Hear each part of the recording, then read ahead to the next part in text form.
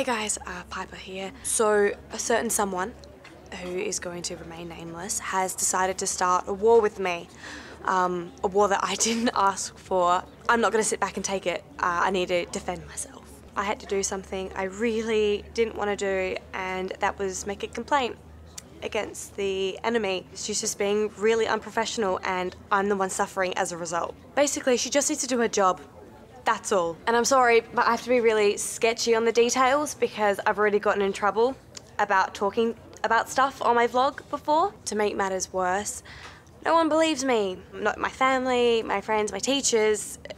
They all think that I'm, I'm making it up or I'm overreacting. I mean, that's just, that's the story of my life, really. It's gotta be on my gravestone. Piper Willis, she was never believed. Basically, I'm a pretty little liar. So instead of just sitting here and sulking, I took a stand.